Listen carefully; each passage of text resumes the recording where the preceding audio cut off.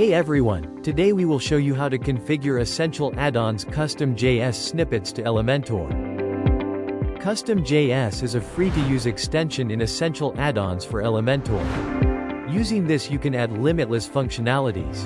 From your WordPress dashboard, click Essential Add-ons, then select Extensions tab, find Custom JS, and toggle to activate it. Click Save Settings to confirm the changes.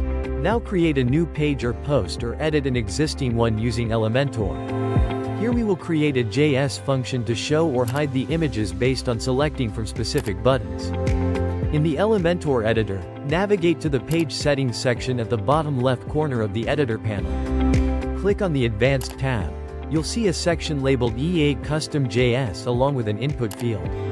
Paste your custom JavaScript code snippet into this input field and click on Update.